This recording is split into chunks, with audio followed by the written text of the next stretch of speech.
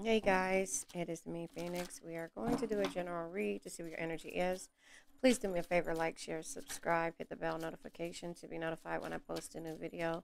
Remember, red hearts, you made it through. Purple hearts, it resonates. Green hearts, you're working on it.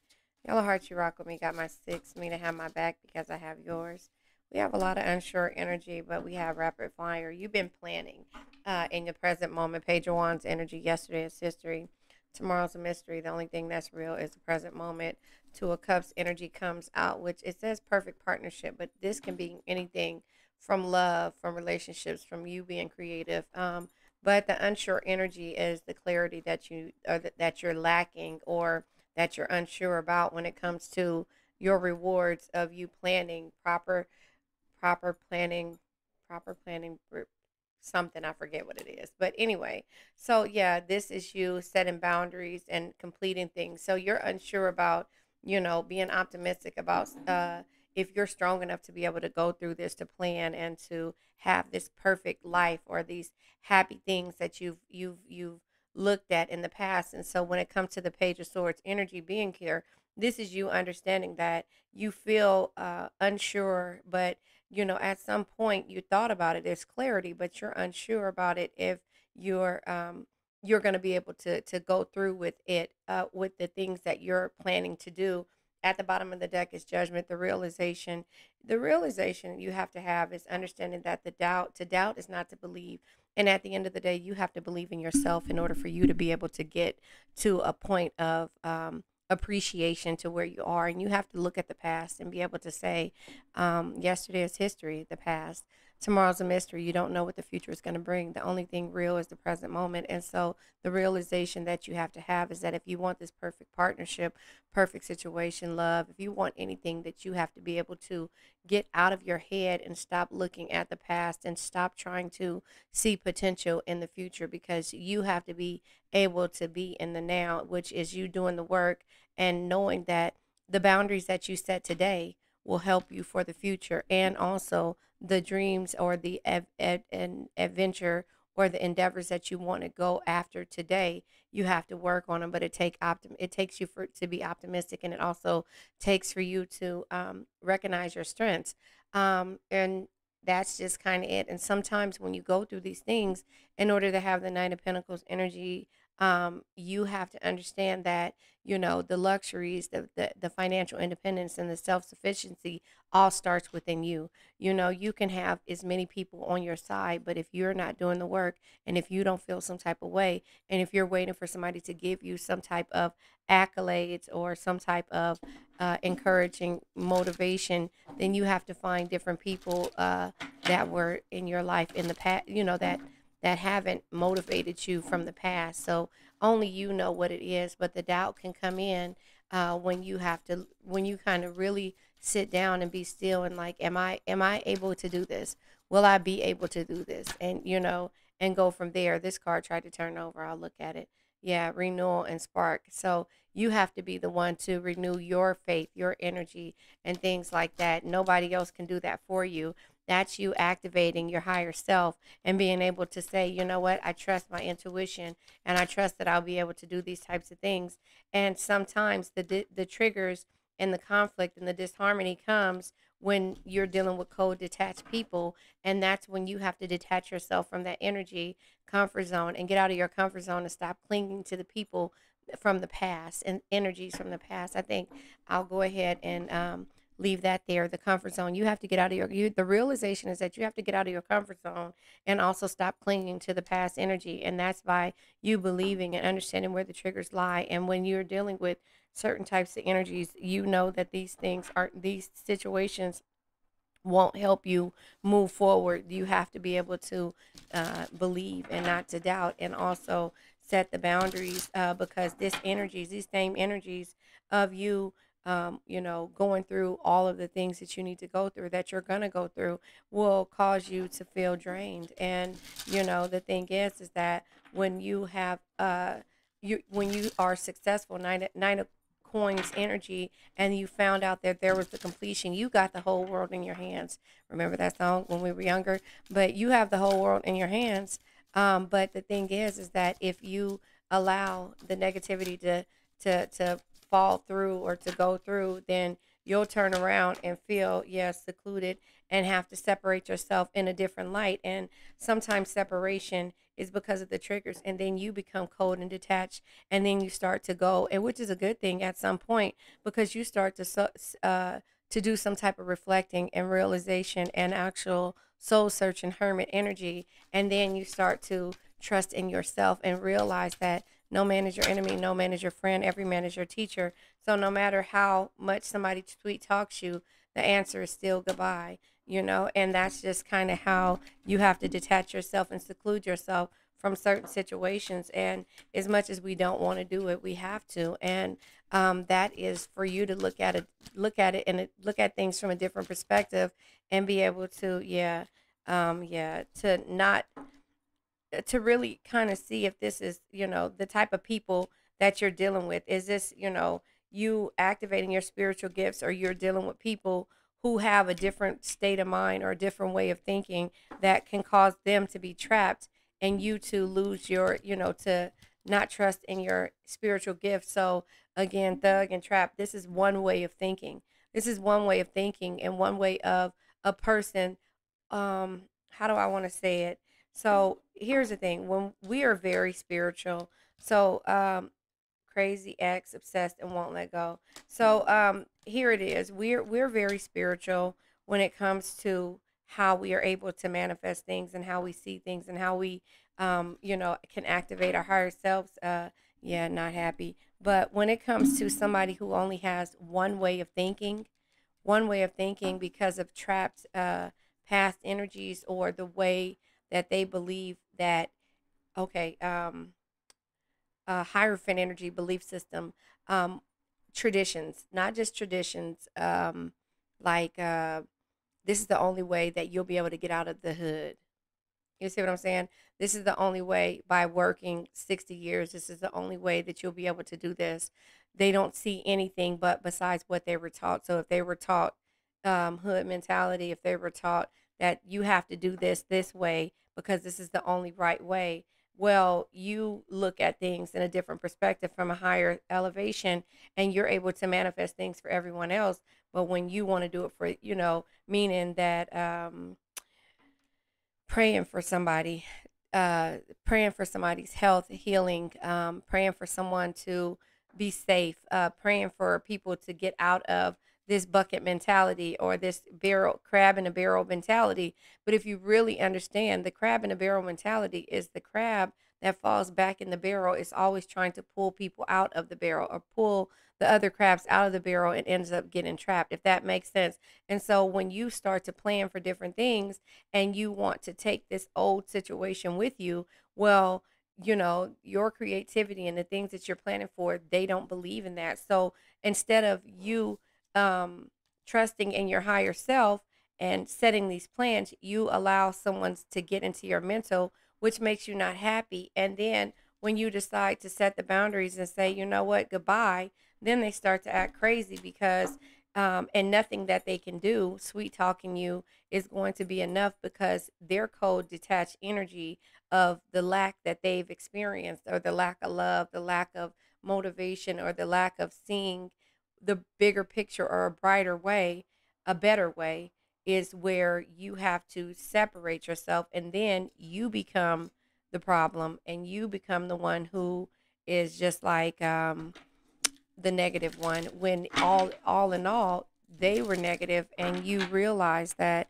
you had to get out of your comfort zone because the crab in the barrel ba- uh, mentality if you keep going into that barrel to pull these people out and see things from a rose color perspective and are you're confused, you'll turn around and then the justice will it, consequences of your actions will be like, okay, well, you fall in the barrel, if that makes sense. You know, so you have to be able to go after your wishes, your dreams, and the things to make things make sense for you. But consequences of your actions, the justice energy is you doing the right thing for yourself and not looking at things and being confused by how somebody sees things about that crab in the barrel. Well, you you know you you did this and you didn't come back for me. You left me, but you had to get out of your your comfort zone in order for you to have to do that. And no, you're not happy doing it, but that's just the way things have to be. So I'm going to clarify the Page of Swords, Nine of Coins, or the Nine of Pentacles. Nine years it took for you to get out of this energy of trusting in yourself and working on yourself and the type of partnerships, friendships, situationships, or whatever it is businesses, jobs, contracts that you need for yourself. So we're going to clarify the Page of Swords, the Nine of Pentacles, the World Energy, the Nine of Wands, the Star Energy, and the Strength Energy, all being unsure because you're afraid to step out on faith. Justice Energy, remember the consequences of your actions. Star Energy, you're afraid to go after your dreams. You know, and that's the reason why when it comes to this, you don't want to have you don't you're not having faith in yourself and your strengths. And so you keep questioning uh, whether or not you're going to be able to do this. And it's, you know, you're, you know, it's like once you stop questioning that, and this is what you have to understand. Um, and I'll read what I learned when I learned tarot. Strength isn't always physical. Your patience, compassion, and gentle spirit is what makes you strong, not the sharpness of your words. At some point, it's just goodbye. No more sweet talking, no more trying to get somebody to understand why you need to do things for yourself for your betterment. And so the page of swords energy is what we're clarifying. Comes out with the seven of coins seven of pentacles yeah planting the seed. And and that's in the reverse. And um also the seven of cups possibilities having options. So the seven of uh, pentacles in reverse is basically what it says is a lack of effort it's you st- being stagnant so instead of you planting seeds, this energy is causing you to be stagnant when you know that you have Page of Swords energy, the clarity and the know-how to be able to do things and you're focused, you you're you're unsure because this energy is causing you to live in an illusion like it's not, you know, like um your um you you you might not be able to do it. What if you fail? Oh darling. Well, what if you fail? Oh, but what if I fly? I think that's from Cinderella. Um, not Cinderella. Hmm. Okay, one of those ones. It, um, but anyway, the Nine of Pentacles. You know, you you you can plant the seeds. You can have everything, but again, you can also yeah, Two of Wands. Uh, it says charting the course course. Um, and it's visualization. Discover. Get get ready. Future planning. Consider your options and making the decisions for the opportunity. So you got to get out of your head when it comes to you thinking that you won't be successful. The world energy here, um, it's either there's a completion or you, you know there's a lack thereof, and so the Empress energy, also the world can be you moving on. The Empress energy is that you have to see that you are divine feminine, you're a nurturer, you're a creator, whether male or female, you see the beauty in certain situations. And so the completion comes when you start to really see the beauty in you, no matter male or female. The Nine of Wands is normally boundaries, and also it can be feeling drained. That's why you're setting boundaries. But, you know, you have to get out of that situation to where you're just letting things drain you and learn to practice and to trust in yourself and manifest the things that you want. The magician energy is like willpower, it says. It says um, concentration, resourceful intellect, manifester, and influences. So you have to understand that the things that have been influencing you haven't been able to grow because they have certain attachments to um, the way that they do things. And now they're, you know, when you decide to move forward, they become crazy and think and and put the blame on you, but you're doing something for yourself for your betterment because you tried to do all of this for them. So we have the star energy.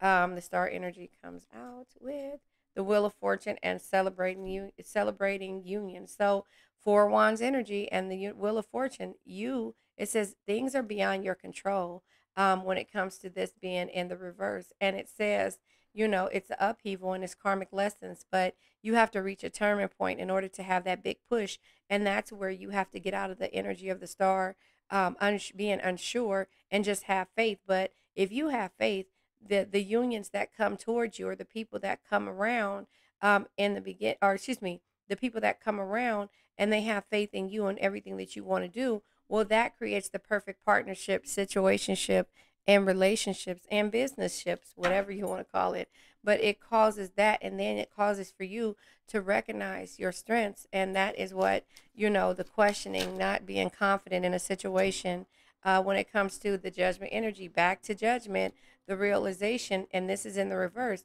needing to step it up. And so this is where the strength card comes out at unsure because it's telling you that you need to step it up. Judgment energy here, judgment energy here. This is the judgment where you are now. This is you understanding where you what you were clinging to and when you weren't happy and the realization. But this is you, the universe saying that recognizing your strengths, you need to step it up for yourself. And at the bottom of the deck, you have the Fool energies a free spirit. You are a free spirit, but you activate your higher self and understand your spiritual gifts of being able to manifest the things when times get hard or just understanding where your triggers lie and you can't be in that crab in a barrel bucket bucket or barrel um, situation where you keep trying to pull people up that you know are going to keep pulling you down and so the new beginning setting out spontaneous adventures idealistic uh, potential carefree opportunity in the unknown. Even though you don't know what's going to happen when it comes to certain situations, you have to take the leap. And um, it says, know that you know nothing. You don't know what the future is going to be. You don't know what the, I mean, you, you are fearful of the past, but in the present moment, right now, the only thing for you to do is to move forward and not to let this keep you stagnant. And if somebody else feels this way, uh, psycho, I'll, I'll clarify this the psycho card. This card flew out of this one upside down, the chaser. You're not chasing this person anymore. And so this psycho energy, you know, um, crazy ex, obsessed, won't let go. You're not chasing this energy. I'll read it to you in the upright. Instead of trying to convince the other party of your worth, redirect that energy into the areas in your life trust. Um, in your life, trust, relax, and be patient and surrender. So that's what you're doing. And so this is where all of this crab in the barrel bucket energy. Yeah, at one point, that none of the things that they said moved you, but you have to say the affirmation. None of these things move me that you're doing, and so I have to be able to do the things for myself. Yeah, and awaken your fears, a passing soulmate, and breakup. So that is where you are. You had to say goodbye and break up, no matter what. You know, the cold, detached energy is where you had to realize that this is not something that I want to be a part of. So it says the this time there is no going back. You're reclaiming your self worth and beginning uh, the healing process, and that is you trusting in yourself, your spiritual gifts, and there's no going at back. You don't have time for the triggers, the detachment, the coldness, the crab in the barrel mentality, and then they want to be crazy because you decide to go and so search for the things that you want out of life, and so you're just moving forward and saying goodbye, bye bye, baby. You know, no more sweet talk, none of that. You know, you know that's from a narcissistic type energy of them sweet talking you, and then after that doesn't work, then they become crazy.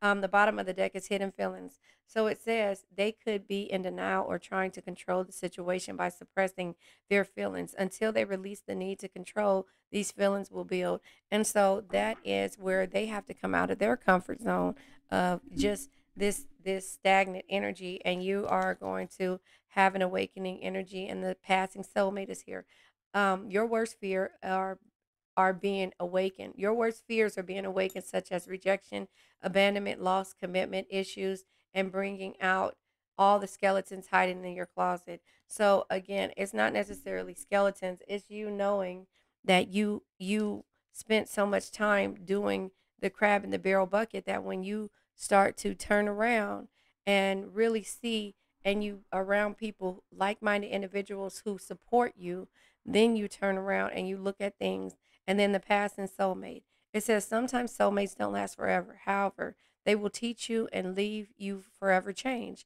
don't try to hold on to them once it's over and so that is why you're saying goodbye is because you're not holding on to things that you can't change you have to take a leap and learn from the past energies, but that's you trusting in yourself. So this person taught you how, you know, they taught you all this energy. Remember, no man is your enemy, no man is your friend.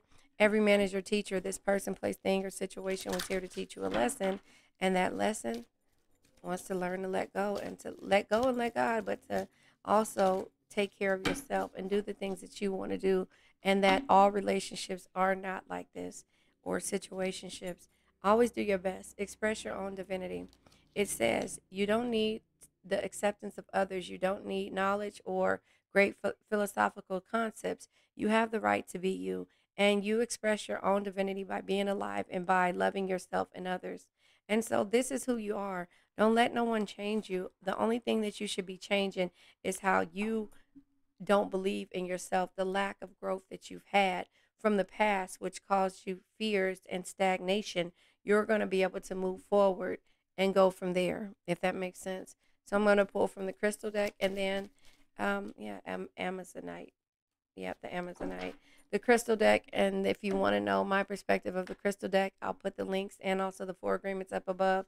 It says um, heart chakra and throat chakra, expression, inspiration, and balance. Expression, inspiration, and balance. And it says, My senses are in tune with my surroundings. My senses are in tune with my surroundings. So now moving forward, you'll know that when you start to feel some type of way, it's about the present moment, not about the past fears, not about the future, which you don't know and you're not sure.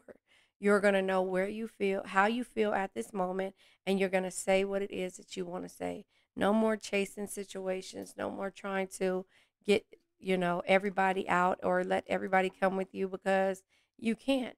And so you have to be awakening by this energy and trust your intuition. So let's let this old energy go. I now let go of worn out conditions of lack, doubt, hate, negativity, procrastination, stagnation, sadness, generational curses, debt, bad energies, heartbreak, bad health, and addictions.